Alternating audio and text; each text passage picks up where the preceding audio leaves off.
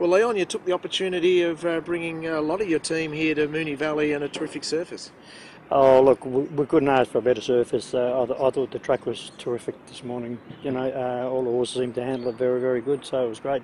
Especially the mare, she really relished it. Uh, she had a nice hit out, good clean blow, uh, and pulled up and recovered really good. It was impressive work, wasn't it? She looks fine tuned and ready to go for the thousand metres. Yeah, well, she was getting home. I don't, you know, a little bit susceptible at the thousand. I don't know whether whether she's quite quick enough. Um, I think there's quite a bit of speed in the thousand.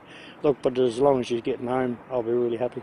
So that's the pass mark for her with the speed on, hit the line strongly, and then move onwards. Uh, what's the next step after that if she comes through that well? Well, look, if I'm really, really pleased with her, I reckon we'll head towards uh, Flemington and head for the Let's Elope.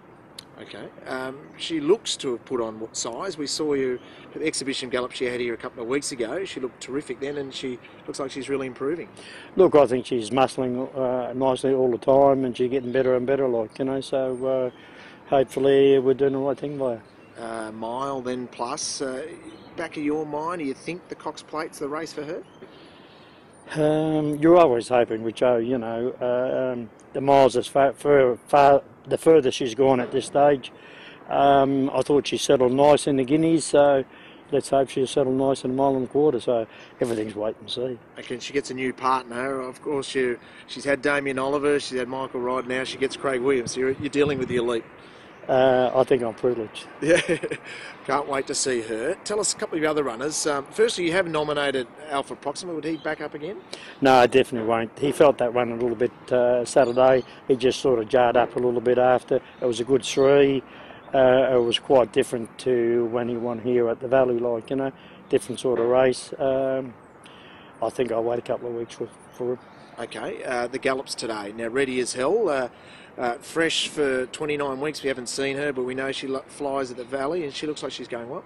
Yeah, look, really pleased with her. Still had a really good blow and uh, just took a little while to recover. So might just find a nice little uh, barrier trial for her somewhere and uh, give her another pipe open before we produce her. Okay, so she'll be, what, two or three weeks away from racing? Yeah, I think she'll be, be, be about another three weeks. Lady Antebellum, also another one that loves the Valley. Is she getting ready for 9.55 races here? Yeah, look, she's only a little thing. Um, she's going really good and very pleased with her. Oh, we'll just wait and see. Look, you know, if there's a nice mares race that comes up here at the Valley, no doubt we'll head towards it. Is she a little more forward uh, than uh, Ready as Hell?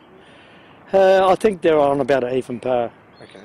Um, Leia, we only seen once. Uh, we saw her at Sale and she showed a lot of ability. She's been nom for some of the big races. Uh, has she improved as a three-year-old filly, you think? Oh, look, I've no doubt she's improved immensely. Um, but we did have her in work a long, long time. She was very, very hard work last time in. I think at one stage there when we had in the barriers, I think she just about all but picked them up, like, you know, and waltzed away with them. Um, she settled down a hell of a lot more this time around, but she, once again, she definitely needed another barrier trial. She had a good hit out and uh, had quite a good blowout after. Okay, she's heading towards a thousand guineas. That's the ultimate aim with her? Well, we're hoping she's good enough to head there. Okay. Snitsum comes back to the races. Uh, can't wait to see him. When will we see him?